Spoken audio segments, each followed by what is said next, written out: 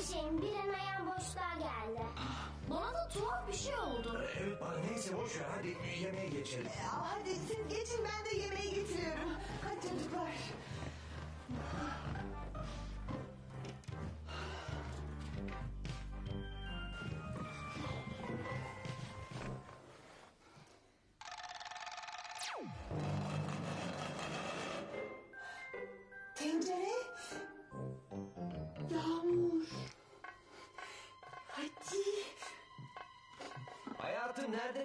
Kaldın? Öldün kaçlıkta.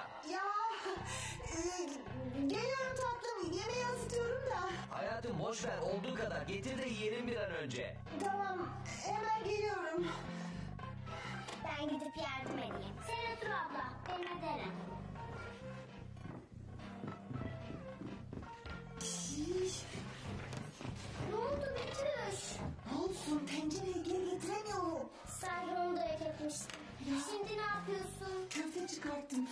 Değmesini bekleyecek vakit yok en çabuk bu olur. Uf, bir yağmur yağdı. Her şey birbirine karıştı. Aa çilek yağmur dindi galiba. Hadi geri getirelim.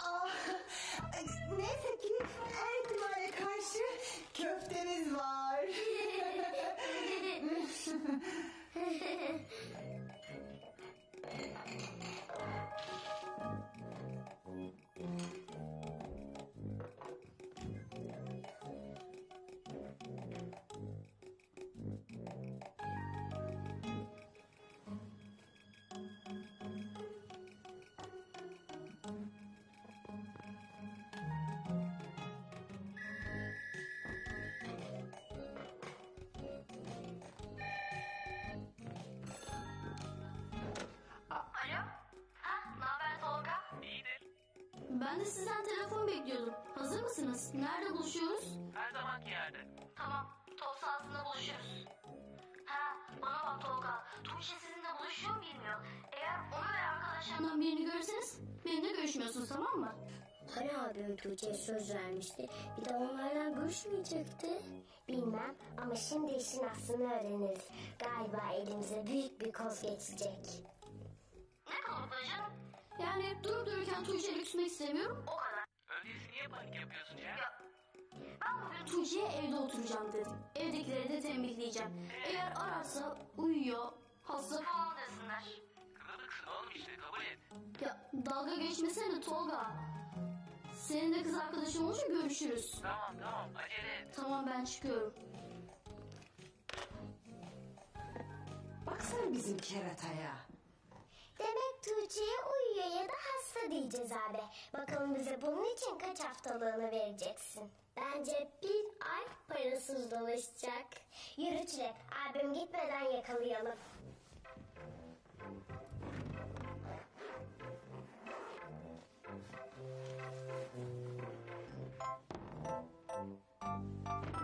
Abim çıktı mı Firuze abla? Hayır, ben de onu bekliyorum. Ben çıkıyorum. Nereye? Arkadaşlarımla buluşmaya. Haydi arkadaşlarımla. Size ne oluyor bakayım? Bak Cem, senin yüzünden Tuğçe'yi idare edemem, yalan söylemekten haz etmiyorum. Biz idare ederiz abi ama kaç haftalığını vereceğine bağlı. Sen arkadaşlarındayken Tuğçe ararsa uyuduğunu söylersek iki haftalığın yeter. Ama uyandırın dersek risk alamayız. Hasta yatıyor telefona gelemez dersek dört haftalığın gider. Tercih senin. Siz benim telefonlarımı mı dinliyorsunuz? Evde bir sürü paralel var. Ben birini açmış bulundum. Biz de ötekine. Tamam. Dört haftalığım sizin. Ama eğer Tuğçe bir şeyden şüphelenirse size bir daha bir haftalığım bile vermem ona göre. Anlaştık. Sen hiç merak etme. Ben anlaşmadım. Tuğçe'ye yalan söylemekten bıktım Cem. Ya erkek erkeğe maç yapacağız. Kızlar bunu bile kıskanıyor. Ne olur bir defa daha idare etsen.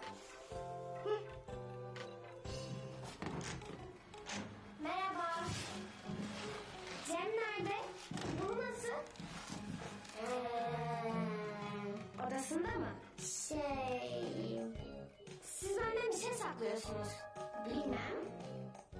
Yoksa Yoksa öldü mü? Ay yok Tuğçe. Ne biçim laf o? Abi maçta. Maçta mı? Demek bana yalan söylemenizi istedi.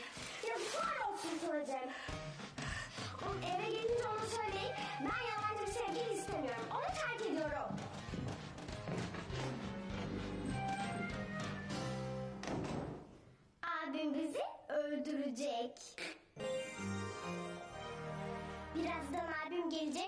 Mahvolacağız. Saklanalım. Sakinleşene kadar da çıkmayalım.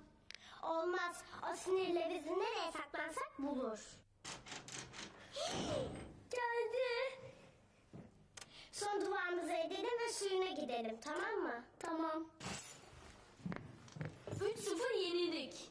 Tebrik ederiz. Çok sevindik. Bravo. Yenildik diyorum kızım yenildik. Sizin ağzınızdan çıkanı kulağınız duyuyor mu? Ha öyle mi? Neyse abi bir dahaki sefere kesin kazanırsınız. Firuze abla çıktı mı çok susadım. Çıktı ama ben sana suyunu getiririm. Ne? Sen bana su mu getireceksin? E tabi abim değil misin? Hem o kadar yorulmuşsun, terlemişsin. İstiyorsan ben de ayaklarına masaj yapayım. Sizin neyiniz var bakayım? Hiç. Yoksa Tuğçe mi aradı? Evet aradı. Abim saçma uyu dedik. İnandın mı bari? Şey inandı inandı. Sağ olun kızlar çok iyisiniz. Haftalığımı alır almaz size vereceğim. Ben bakayım. Durun durun ben bakarım. Belki Tuğçe'dir. Hasta gibi konuşunca iyice inansın. Alo. Ha, ne haber Tuğçe? ne? Bu doğru değil, hastaydım. Tüm gün evdeydim. Tuğçe? Tuğçe? Tuğçe? Tuğçe beni terk ettiğini söyledi. Ve telefonu yüzüme kapattı. İkiniz de bittiniz. Ne?